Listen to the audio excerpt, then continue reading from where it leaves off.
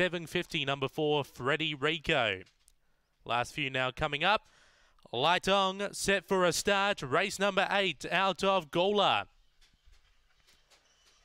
Away, Sunset Toxic began well. Superior Speak, Freddie Rico, who finds the rail early. Sunset Toxic is pushing on and now finds the lead. So Sunset Toxic by two uh, on Freddie Rico. Two lengths away then Dollface with Sutton, Daisy, Straight Blaze. Jax Cade and Innocent off the back. Sunset Toxic by four. Freddie Rico making chase. Four lengths away then Dollface. But it's Sunset Toxic on top. Freddie Rico trying hard, but Sunset Toxic too good. Big Zone Freddie Rico, Dollface, Straight Blaze, Sutton, Daisy, Jax Cade, and Innocent. The time around 30 and 50.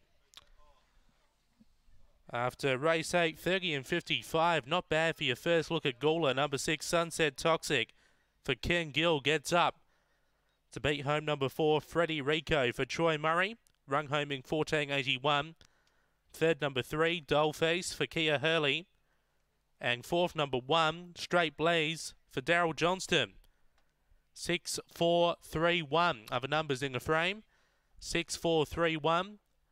Lengthening three quarters by seven and a half. A lengthening three quarters by seven and a half.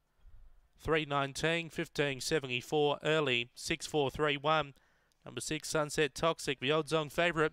Gets up after race number eight Gawler.